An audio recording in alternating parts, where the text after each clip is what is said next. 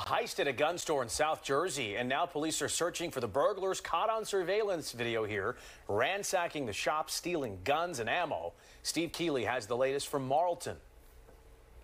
The gun store is the newest business in this years long strip mall here on Route 70.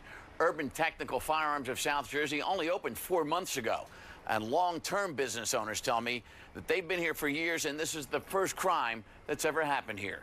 They were in and out of the business in less than two minutes. And they went to option two to get in, as you see in the surveillance video.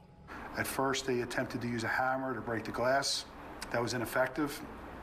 They then um, used a landscaping rock that was brought with them um, uh, to commit the burglary. The rock was thrown through the front door. Then they used that rock again.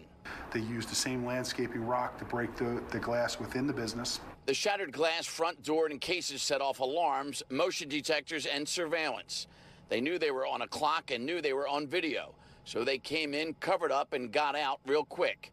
Not getting greedy, not taking too much. Taking just four handguns, one long gun, and ammo. Then taking off real quick in the white Hyundai Elantra that police suspect was stolen first based on how the four burglars got in and out of it. We believe that that vehicle was possibly stolen based on the fact that the uh, suspects exited the vehicle through the windows without opening the doors.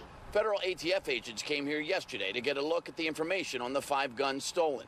There's been some similar type burglaries in Pennsylvania um, that could be possibly related. And as with all gun store heists, investigators realize gun stores aren't hit by people wanting to use the guns for target practice, but for violent crimes. We'd like to identify this group and recover those firearms before they're used to hurt or injure an innocent person. The store's closed today as a repairman came to fix all the damage. Police say they're talking to the gun store business owner and his property landlord about possibly making this gun store more secure to prevent another break in. In Marlton, Steve Keeley, Fox 29 News.